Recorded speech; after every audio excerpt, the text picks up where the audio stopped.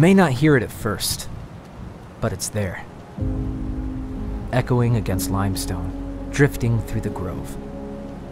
You can feel it running deep beneath all that we are and do. More than a show of spirit, it's a source of energy. You can see it power leaders, fuel innovators, push dreamers into motion. On this summit, callings converge. Voices unify into a chorus, one that sounds out for good, for greatness. Our chant. Rising.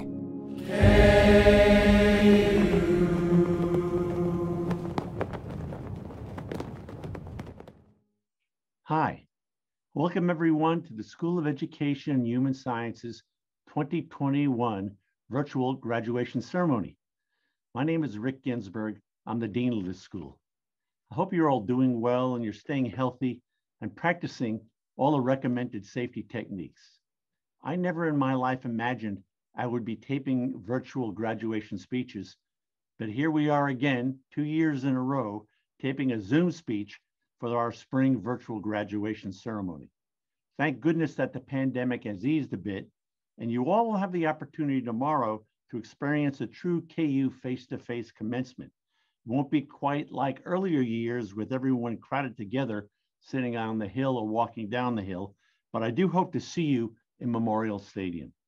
Although we can't greet one another today walking across the stage at Allen Fieldhouse, I do hope you will keep the tradition alive of posting your pictures of your graduation experience to our school's Twitter account. Please be creative, take a selfie or two, and share those with us at hashtag capital K-U-S-O-E, capital G graduation. Let's pull as much normalcy out of the current situation as we can. I can't wait to see your pictures. Again, hashtag KUSOE graduation. I'm especially proud of you, the graduates, this year. Let's face it, all of our lives have been turned upside down and inside out these past 14 months. You know, before March 2020, the term Zoom generally referred to fast cars and rocket ships. Masks were only worn by dentists or surgeons or other health professionals or kids on Halloween. You know, the phrase, you are on mute, wasn't part of our vocabulary. And while some of you listening today may have taken some online courses before, I don't think any of you, I don't think any of us expected that we'd be going through so much online and hybrid, uh, hybrid teaching that dom would dominate our experiences the last couple of months. Other than your pet dog, I think who gets to see you more often, I don't think anyone has considered this past year a boon for our lives.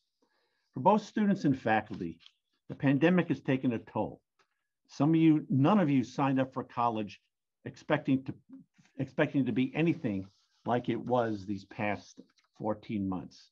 National data suggests that students report experiencing negative mental health symptoms, enduring far more screen time, losing out, of course, on campus activities with friends and clubs and sporting events, as much of the college experience that you anticipated changed.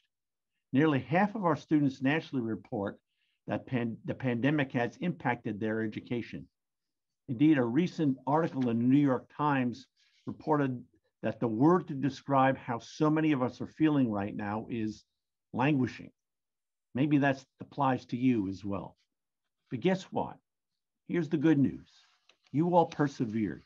You graduates have, have displayed the grit that experts tell us is a key for experience in life.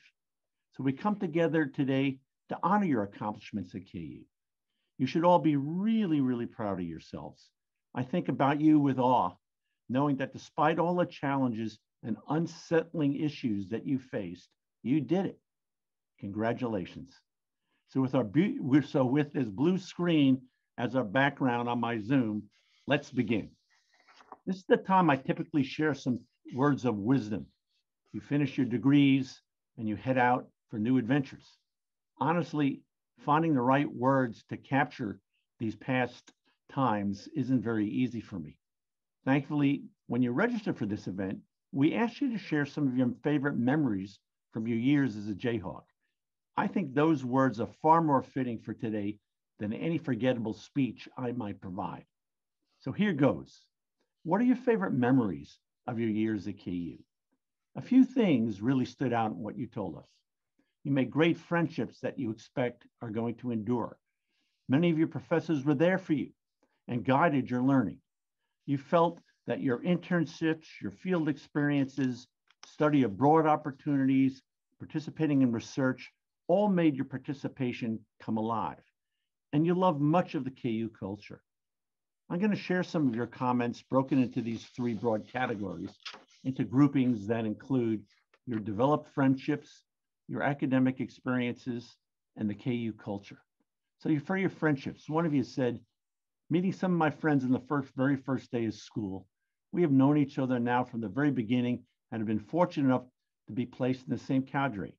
We've been lucky to have four years of college together. Another said, I love spe- uh, spending what felt like 12 hours in JRP each day and being tired and goofy by the end of the day with my peers. Another said, being able to meet so many different people within my program who I've come now uh, have now become such good friends with, and working with them on game days with KU and with the Kansas City Chiefs as we work together to further our career goals. Another of you said, I reap the benefit of my time with my peers and my instructors in the anatomy and dissection, anatomy dissection and observation lab. For years to come, I'll use the skills and knowledge that I learned there. I could go on. One last person said, one of my favorite memories is getting to meet the friends I did. I wouldn't have been able to have the experience I did without them. They truly have become my family.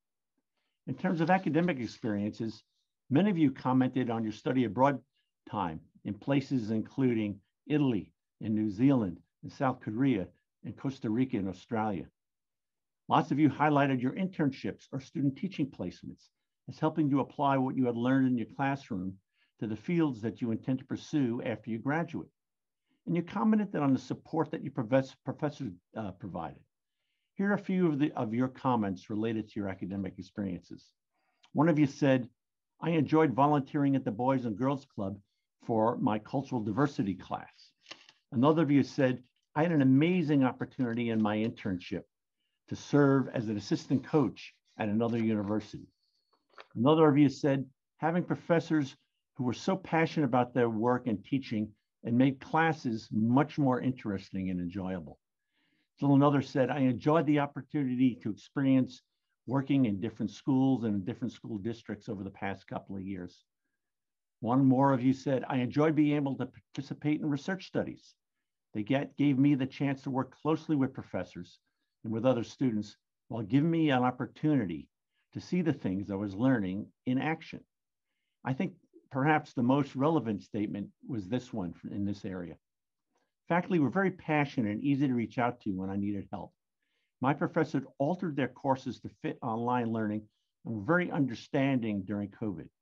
It is not exactly how I envisioned my last year at KU, but my experience helped me grow and realize how the class of 21, 2021 was incredibly resilient.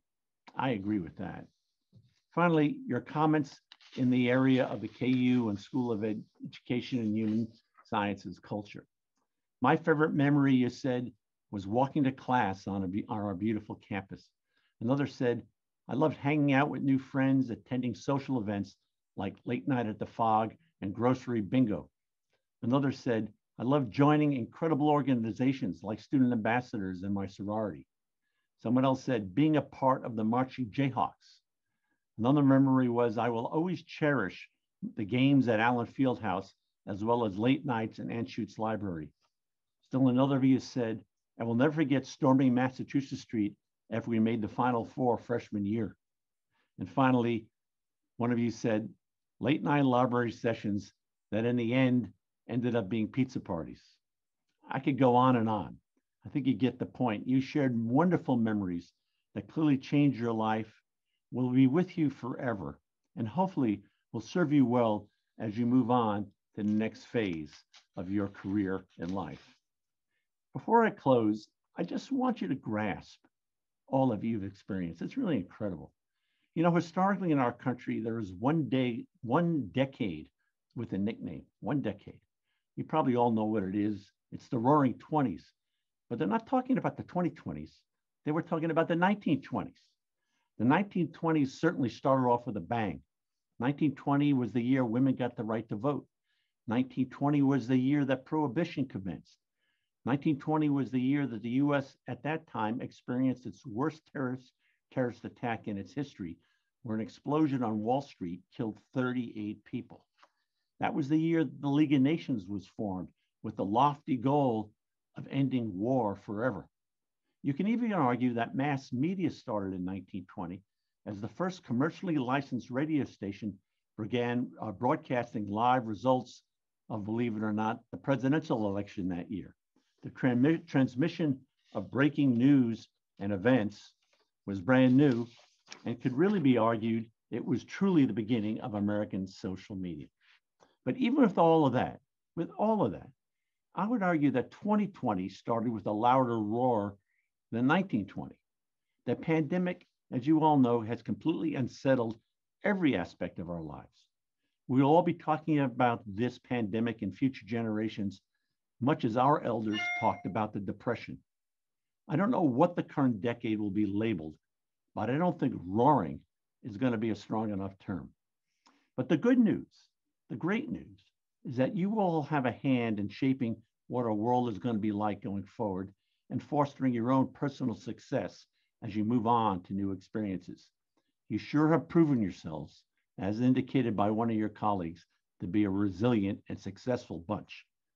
The great French poet and novelist Victor Hugo described, what the, described the future in a way that I think is apt to what's going on today. Hugo said this The future has many names. For the weak, it means the unattainable. For the fearful, it means the unknown.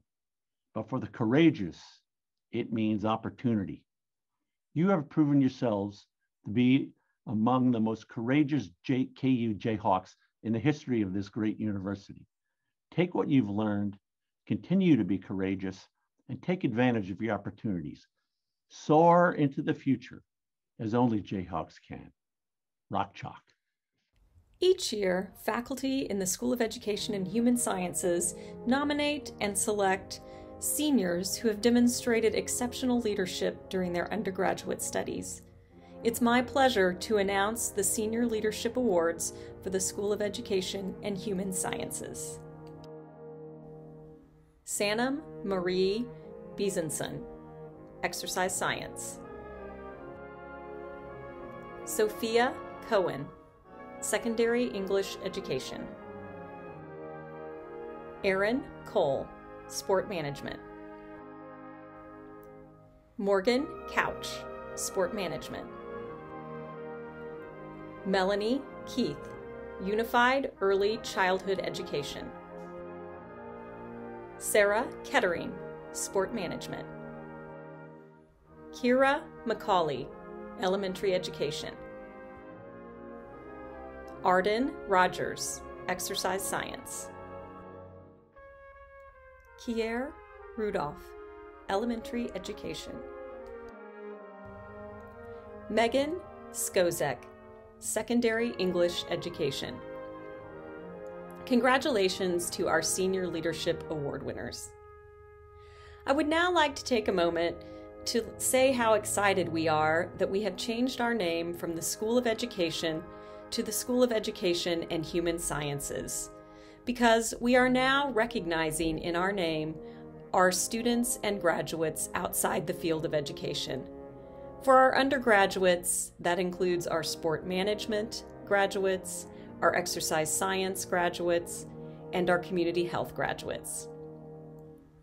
Each year, the School of Education and Human Sciences faculty select a speaker to speak on behalf of the undergraduate students. Our speaker this year is graduating from one of our teacher education programs. It's my pleasure to introduce Kier Rudolph, the undergraduate speaker for 2021. Hello, graduates, faculty, family, friends, and everyone watching today. If there is one common theme that I can take from my time in the School of Education and Human Sciences is that change is something inevitable. Today, we graduate from the School of Education and Human Sciences. When most of us here entered the program, it was simply known as the School of Education. When I first heard of this, I wondered, human sciences, why make that change? We already had a good enough name, the School of Education. That's what I do. I educate. It was simple, clean, and crisp. Every time I walked past the building, I would shout, the S O E. I really did, I know. And yeah, it's corny, but I liked it. But then I realized something it isn't all about me. I began to see that while we as teachers educate and do so much more than that. There are others within education that do even more. While they may not teach math in the classroom, they provide emotional support for the student who is crying in their office. Counselors are the loving and caring people that funnel students to each classroom based on need and personality fit. Principals use restorative practices to absolve harm instead of punitive punishments. School psychologists provide mental health services to build up students mentally, socially, and emotionally. Physical education teachers provide students with lifelong knowledge of what it means to have a healthy body and how to take care of it. Occupational therapists, behavior specialists, speech pathologists, the list goes on and on. The many roles that make up an education are endless. And when I think of this, I am reminded of how vast the educational network is and the pivotal roles that make it up. And those people deserve recognition in the school that they attend. And that name change itself helps shift my view on what it means to provide a child with a well rounded and just education. But change also goes so much deeper than a name change at your university. One morning, you come into your classroom and you're told for the first time that you have a new student whose first language is not your own. Or you find out that your district is restructuring the curriculum and every resource you spent gathering the previous year will no longer directly apply. Your principal switches you from fifth grade to kindergarten, or you are the principal, switches somebody from fifth grade to kindergarten. The art and the music budget gets slashed again, and now you need to work with fewer materials again, or you come out of, you come out of your own pocket again, just so your students receive everything they deserve. And in some special cases, an unexpected virus makes its way through the world and sends us home to teach for a year.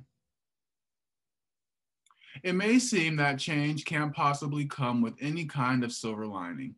It's annoying, not what we're used to doing, and it takes us out of our comfort zone. However, when we look a little closer, we can realize that change always provides the opportunity to shake something up and try something new. Sometimes change serves as reminding us that we do more than just educate. I know now and understand that it takes more than just me, but every person watching this screen and those not to help our students effectively become whatever they choose to be. Now, we all have our reasons for becoming educators. An educator as we were growing up inspired us in a way so that we wanted to inspire others. Some may have had educators remind us of all the ways we don't want to treat our youth.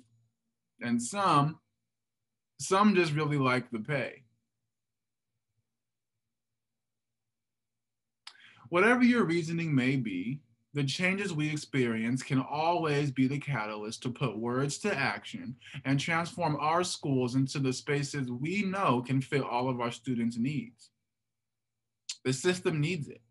And I can't think of any other group of people that have the resiliency, compassion, empathy, and tenacity to provide their students nothing but the best, despite what others may do to stifle it. And as I thought further into how much change impacts us within a year or on a day to day basis, I realized that at the same time, we are the change.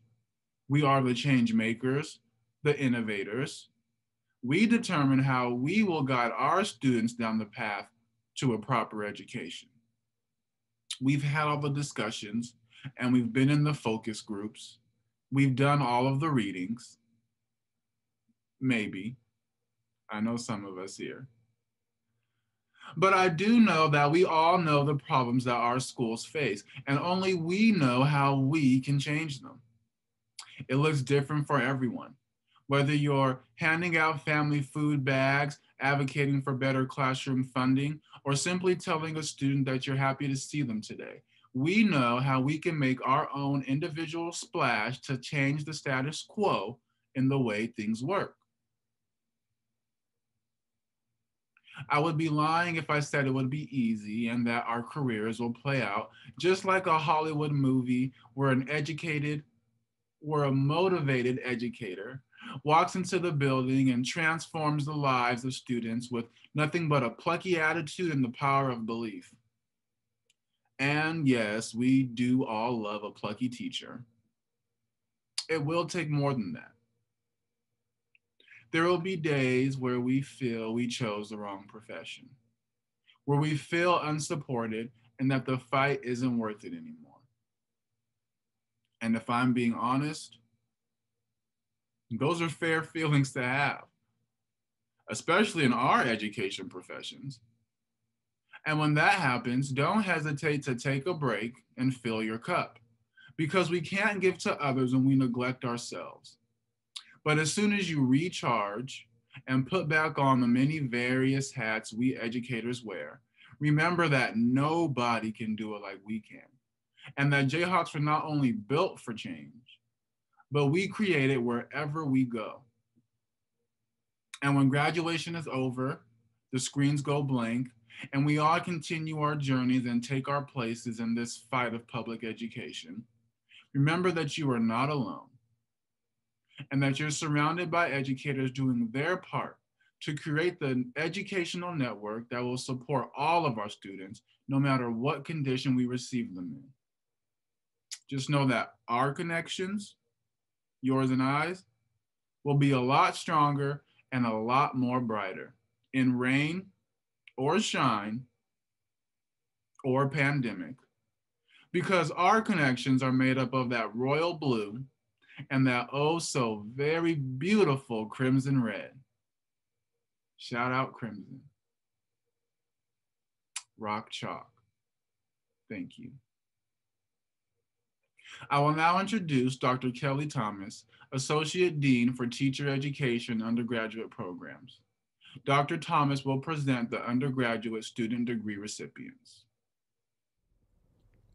I'm Kelly Thomas, Associate Dean for Teacher Education and Undergraduate Studies. I'm pleased to present the graduates from the School of Education and Human Sciences undergraduate programs. I will now announce the transition to post-secondary education certificate recipients. Emily Kaus. Carly Faith Lavoie. I will now announce the bachelor's degree recipients from the Department of Curriculum and Teaching. Haley Adams. Samantha Albright. Adriana Aikenman. Meredith Kate Arbelize. Melissa Barbarena. Mackenzie Joe Beheimer. Emily Bjorlin. Colette Ann Block. Callie Bow. Allison Borso. Faith Bradfield. Connie Cobb. Sophia Blue Cohen. Amy Juanita Curiel. Sydney Dykehouse. Natalie Grace Finella. Jenna L. Fingerman. Sienna Ford Johnson. Hannah Funk. Alexandra Day Firminger. Kaylee Guerreri. Sydney Hall. Jenna Hawks. Abby Hedrick. Sarah Hennessy. Eva Herling. Jacqueline Hockenberg. Sierra Johnson. Sydney Johnson. Bree Kasirik. Melanie Keith. Rachel Kettering. Kyle Matthew Kobe. Abby Crusoe. Danielle Larson. Sophie Levine. Marin Jordan Lilly. Natalie Marie Line. Kylie Lowen. Madeline Martin. Jackson McCauley. Kira McCauley. Ryland Grace McClave. Mina Elisa Morales. Tamara Morgan. Grace Evelyn Nielsen. Madeline Neiman. Benjamin Novor. Bill Vernell Patterson. Cassie Quinones. Reagan Rapp. Vanessa Christine Riza. Sophia Roland. Gabrielle Rossetti. Pierre Rudolph. Grace Schlegel. Hannah Gail Shepard. Claire Sizemore. Megan Skozek. Mia Spano. Maddie Urish. Megan Van Giesen. Anna Votes. Lily Webster. Megan Wickinson. Sydney Winter. Sarah Wright. Ashley Yoder. Yike Zin. I will now announce the bachelor's degree recipients from the Department of Health, Sport, and Exercise Sciences. Jelani Arnold. Zaina Azar. Abriana Berkowitz. Sanam Beezenson. Maya Bilski. Dalton Blaine. Anissa Elise Brantley. Megan Bridget Carney. Aaron Cole. Shayla Collins. Morgan Ann Couch. Savannah Cox. Madison Dolan. Andrew Bennett Edrington. Sheza Faruqi. Courtney Getz. Cassie Grattan. Lauren Green. Nicholas Hartig. Hannah Heaton. Jacqueline Hitt. Zachary Hop. Carter Ison. Caitlin Jors. Wesley L. Jones. Peyton Kelly. Sarah Kettering.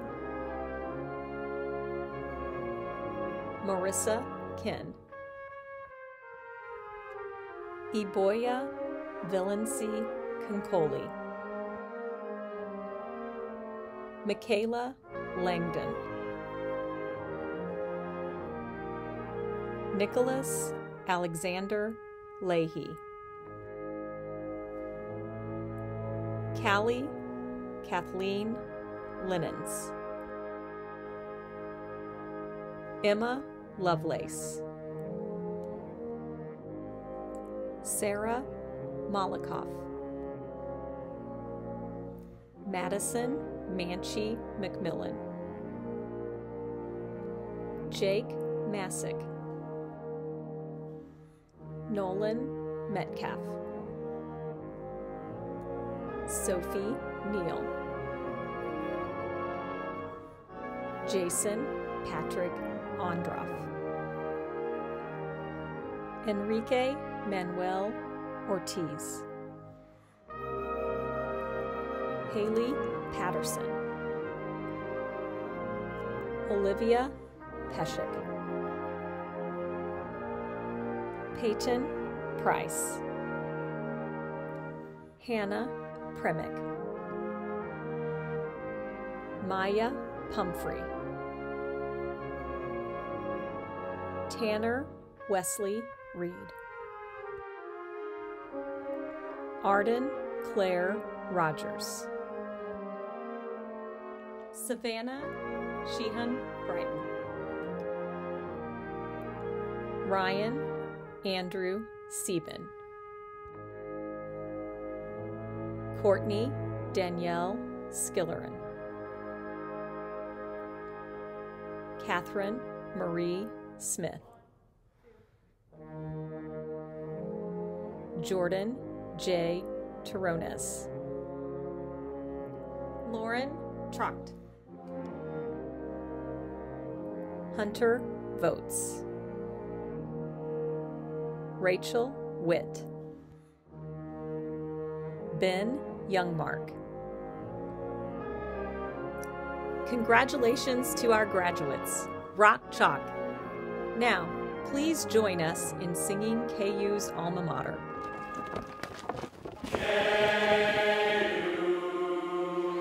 ladies and gentlemen, please join in the singing of our alma mater.